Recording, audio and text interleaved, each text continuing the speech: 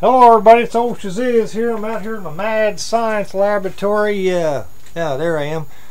Alright, well, uh, I'm uh, doing a uh, update on my uh, plasma reactor. I've still got a few problems with it, uh, but uh, anyway, I just kind of want to give you a little bit of a rundown what's going on. I finally got my argon tank down here, and don't think you can see that very well. Let me take you on a shaky ride down there. Alright, well I got my argon gauge there and uh, flow meter and I've got my argon tank down here. This is uh, pure argon, 100%. Uh, it's not the uh, mix uh, argon and uh, carbon dioxide or whatever. But anyway, got a got a few issues with the uh, plasma reactor so far because of uh, leaks and such. So what I'm probably going to end up doing is uh, totally encapsulating this entire reactor into uh, clear uh, acrylic epoxy resin.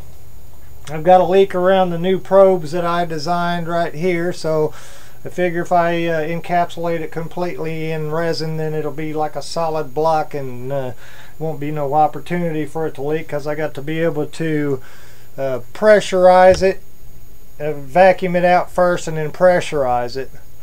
And uh, ahead of time I apologize for the noise because uh, it's going to be a probably a pretty noisy video and at some portions, oh, you probably won't be able to hear me very well, but I'll uh, try to do the best that I can with what I've got to work with.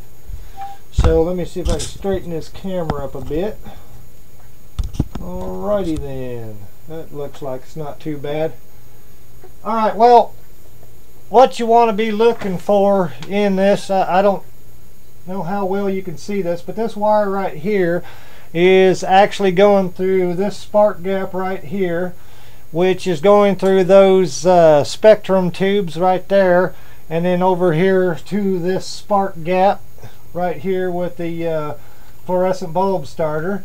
And you'll see that blinking off and on as it gets warm. It'll click off click on and then uh, that goes directly to the ground earth ground. So this isn't connected to anything other than the, the actual earth ground via the spark gap right there and what you want to look to is inside this reactor because it's leaking it's not going to get the full plasma effect but you'll see the uh, arcs little mini lightning bolts inside there.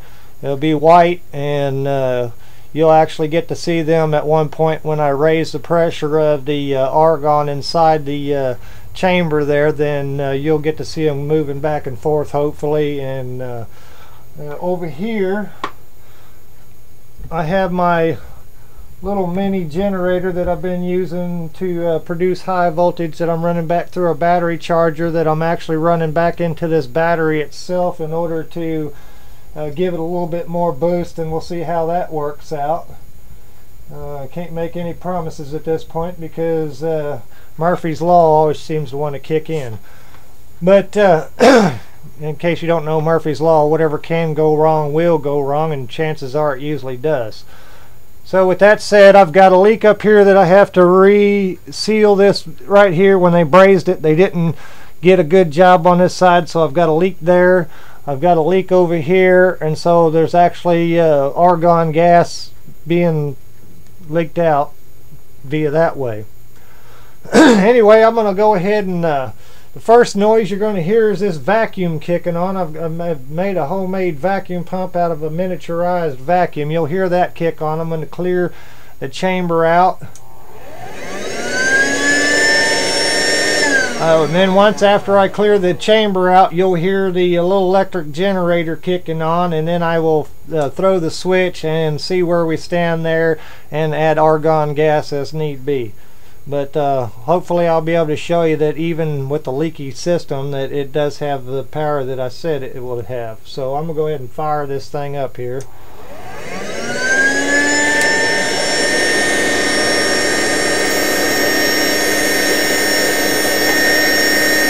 Alright, if you notice there's already an arc going on in there.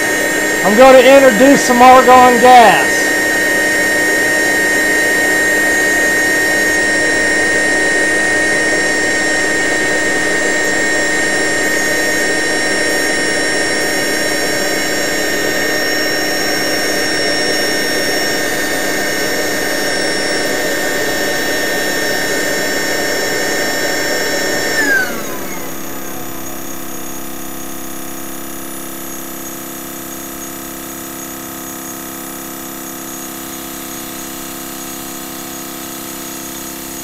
I can't leave this running too long because of the actual leak because argon gas does have the capability to cause you to suffocate. So hopefully you got to see that spreading out. I'm waiting for the pressure to drop down. I'll put a little bit more in there.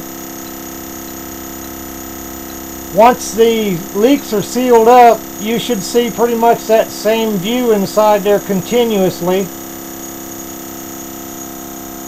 You can see that it's arcing across pretty good. Now while I still have a little bit of argon in there, let me uh, show you how much power. I don't know if you can see that. Ah! I don't know if you can see that very well, but let me add a little bit more argon.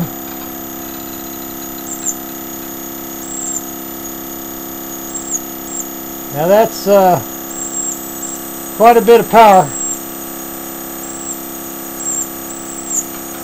Now I'm going to show you, I'm going to shut this off for just a second. I want you to focus on this right here.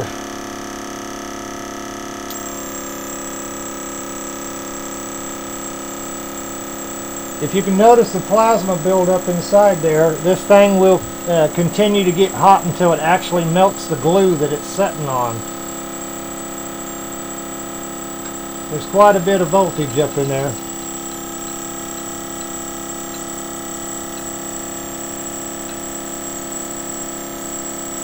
We'll try to hit the vacuum one more time.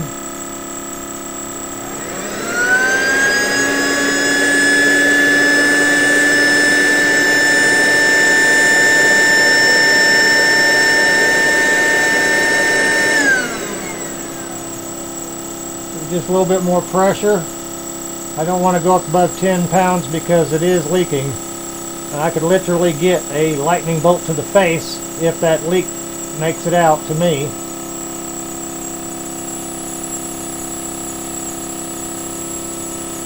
But you can see the white arc inside there. What you're looking at is a essentially a miniature lightning bolt. And if you notice, that is getting hot and is beginning to drop, so I'm going to have to shut part of it down and get my hand out of the way.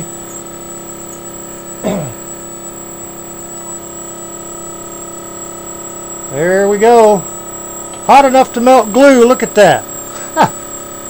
Alright, I'm going to shut this puppy down. See if I can re-glue that back for let it cool down. But uh, yeah, that puppy, ah, ooh, hard on the fingers. Alright, there's quite a bit of current moving through that thing right there. Let me uh, fire this uh, thing up one more time just for a brief instant without it being uh, actually grounded back to the body itself and show you that you can hear the difference in that sound and see that that uh, that range has definitely expanded. You can see the distortion hopefully on those monitors over there Now listen as it gets closer. Right, see how it speeds up? It definitely speeds up to the point where huh, it's not even audible anymore. let me add a little bit of argon.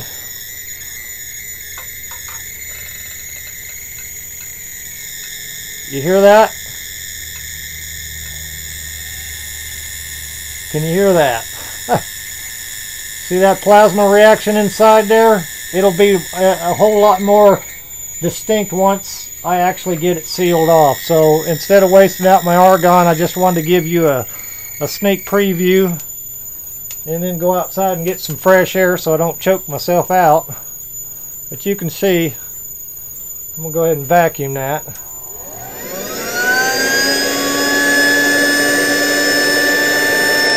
Alright.